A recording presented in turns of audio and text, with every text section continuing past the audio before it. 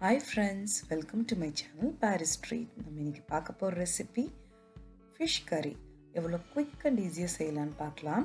நான் இன்றைக்கி mullet fish எடுத்திருக்கேன்.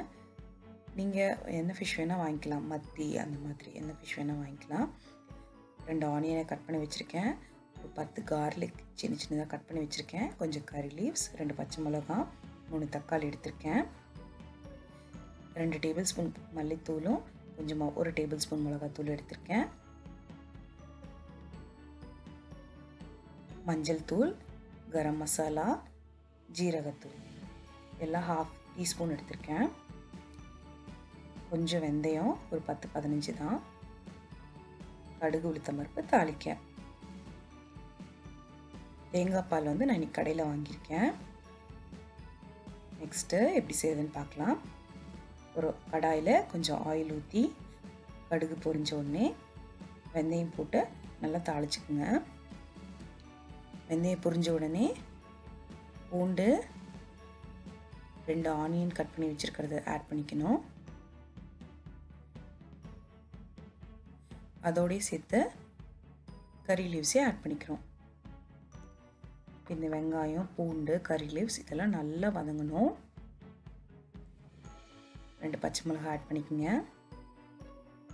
இதெல்லாம் சேர்த்து நல்லா வதங்கணும். பாருங்கள் நல்லா வதங்கிடுச்சு இந்த ஸ்டேஜில் மூணு மீடியம் சைஸ் தக்காளி கட் பண்ணி வச்சுருக்கேன். அதை ஆட் பண்ணிக்கிறேன். தக்காளி சீக்கிரமாக வதங்க சால்ட் ஆட் பண்ணோம். கொஞ்சம் மஞ்சள் பொடி ஆட் பண்ணிக்கிறோம். பாருங்கள் டக்குன்னு வதங்கிரும். நல்லா வதங்கிருச்சு.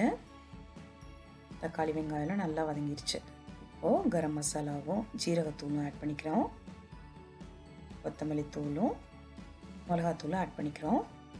இதெல்லாம் நல்லா சேர்த்து பச்சை வாசம் போகிற அளவுக்கு நல்லா வதக்கிக்கணும். நல்லா வதக்கிங்க இதோட கொஞ்சம் தண்ணி சேர்த்து நல்லா வேகட்டும்.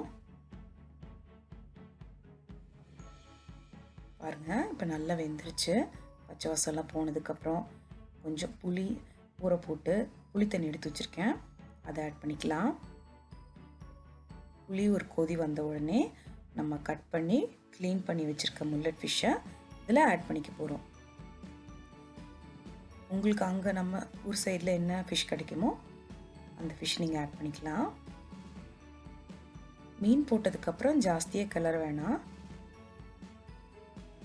பாருங்கள் மீன் போட்டு நல்லா கொதி வந்ததுக்கப்புறம் நம்ம தேங்காய் பால் ஆட் பண்ணுறோம் ஒரு மூணு டேபிள் ஸ்பூன் தேங்காய் பால் ஆட் பண்ணியிருக்கேன் தேங்காய் பாலோட கொஞ்சம் தண்ணி சேர்த்து நல்லா கொதிக்க விடணும். இப்போ பாதி வெந்துருச்சு. இந்த ஸ்டேஜில் கொஞ்சம் கருவேப்பிலும் கொஞ்சம் கொத்தமல்லி சேர்த்து மூடி வச்சுருங்க. ஒரு பத்து நிமிஷம். இப்போ பத்து நிமிஷத்துக்கு அப்புறம் குழம்பு ரெடி ஆயிடுச்சு.